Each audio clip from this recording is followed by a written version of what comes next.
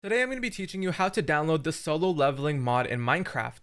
The first thing you want to do is search up CurseForge right over here, then go down to here where it says CurseForge and click on it. After clicking on it, make sure you have CurseForge installed by this button up here, which should then prompt you to installing this right over here.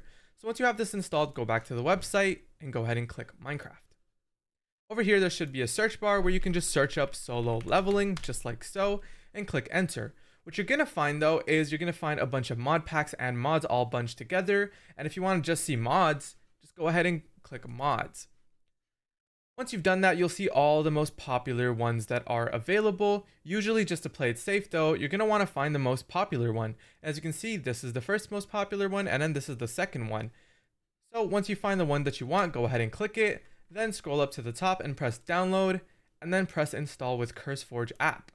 This will then instantly start downloading it for you and then press create new profile and name it whatever you would like. Then press create. And as you can see, it installs everything that you need to run the solo leveling mod, including the extra mods that you need for this to run properly. Then press play and you should have it installed.